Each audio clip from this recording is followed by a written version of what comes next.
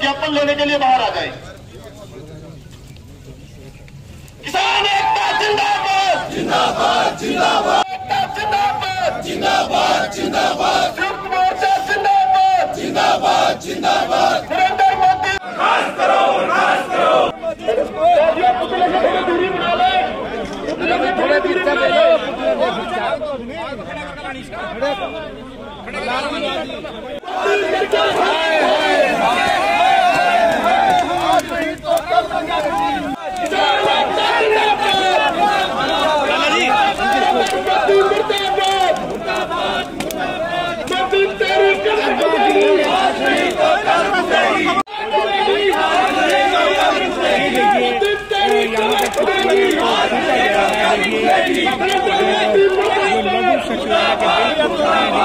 के सामने पर पुतले को फूका गया है नारेबाजी हो रही है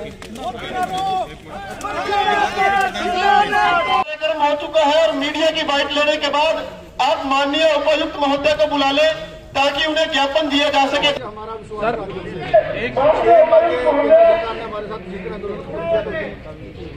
उनमें से एक भी मांग अभी तक केंद्र सरकार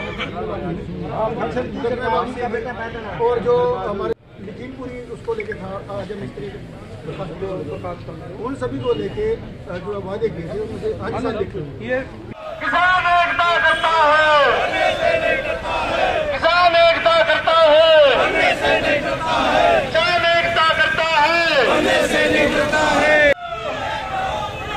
किसानों की आवाज़ें पूरे करो।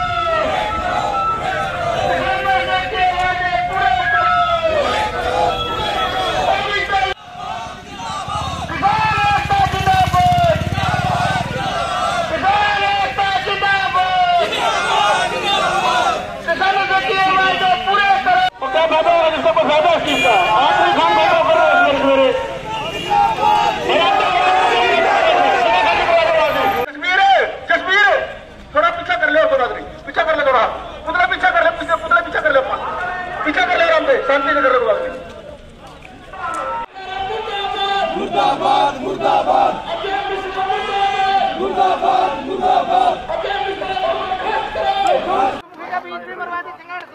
आज का प्रदर्शन जो है हमारा, केंद्र सरकार से जो आंदोलन वापसी के दौरान हमारे जो वायदे किए थे केंद्र सरकार ने, उनको पूरा नहीं किया और जो हमारे केंद्र से केस वापस होने थे, उनको वापस नहीं लिया।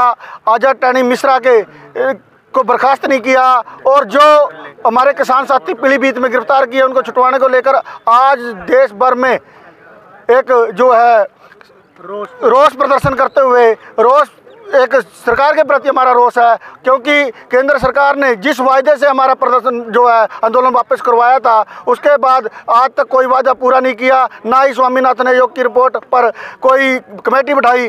तो जिसे लेकर देश भर में आज प्रदर्शन किए जा रहे हैं, और आज उसी का एक अंग जो है कुरुक्षेत्र में किया गया, और अभी हम जो है मेमोरेंडम देंगे डी साहब को, राष्ट्रपति के नाम।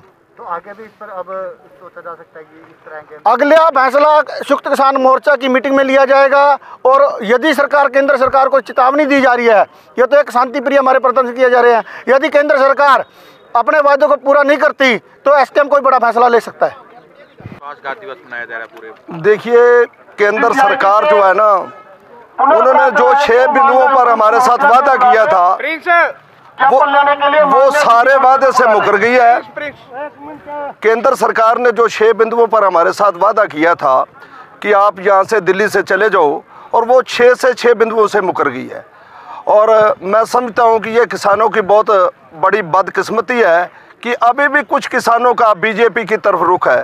मैं आपके टीवी चैनलों के माध्यम से सभी किसानों से अपील करूँगा कि जितनी भी स्टेट में इलेक्शन होना है, कोई भी बीजेपी सरकार को किसान का बेटा होने के नाते वोट ना दे, मेरी ये आपके चैनलों के माध्यम से अपील रहेगी, क्योंकि ये लोग हैं, ये हर बार में मुकर जाते हैं, हर बात के लिए जिद करते हैं, हर बात का ये करते हैं कि जी हमारे पास खाद पूरी है, हमारे पास बीज पूरा है, लेकिन इनकी एक बात भी पूरी नहीं होती, हमारी पुरजोर अपील है कि कोई भी किसान बीजेपी सरकार को वोट ना दे।